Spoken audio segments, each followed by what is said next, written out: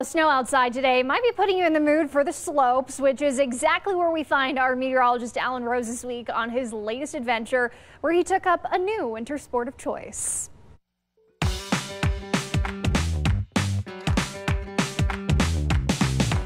I'm Alan Rose and I'm on my latest adventure, hoping to shred some turns at Loveland Ski Area this morning. Let's go. High atop the Continental Divide is one of southern Colorado's closest mountains, Loveland Ski Area. It's here that I decide to give snowboarding another try. Skiing has typically been my winter sport of choice. Loveland Ski Area offers 1,800 acres of skiing and riding.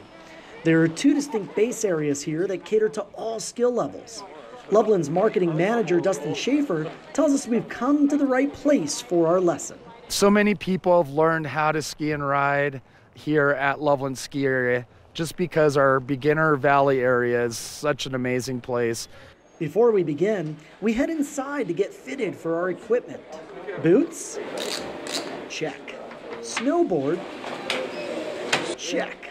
Next, we meet up with Dixon, our instructor for um, today's adventure. We are going to do some exercises without the board to start.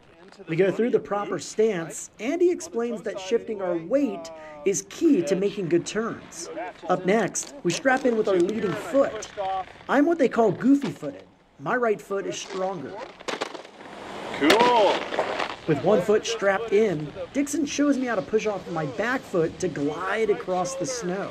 Stop. Yeah, ain't bad, man. Now it's time for a magic carpet ride to the bunny slope.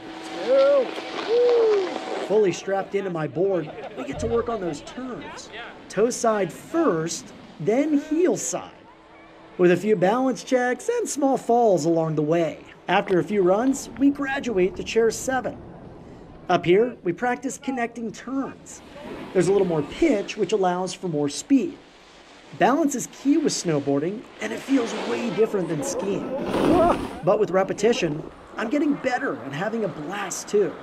Thanks to muscle memory from trying the sport out a few times in the 90s, I'm able to avoid any big spills. And although skiing is my jam, maybe next time I can try some blues. Thanks to my instructor Dixon, I had an awesome time learning to snowboard today. And although it was a bit humbling for the skier, I can't wait to try it again. At Loveland Ski Area, meteorologist Alan Rose, News 5.